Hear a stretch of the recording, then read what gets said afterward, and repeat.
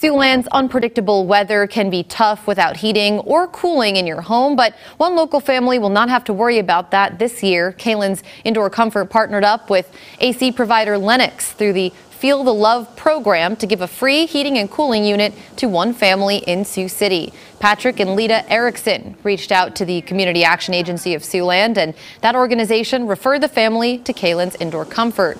Lita Erickson says while the Siouxland weather has not been hot for a while, she knows the new furnace will come in handy once winter does arrive.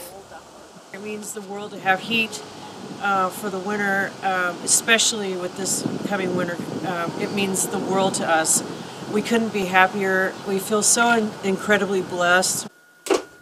This is the second year Kalins Indoor Comfort has participated in the program with Lennox. If you'd like more information about programs like these, you can visit our website at siouxlandproud.com.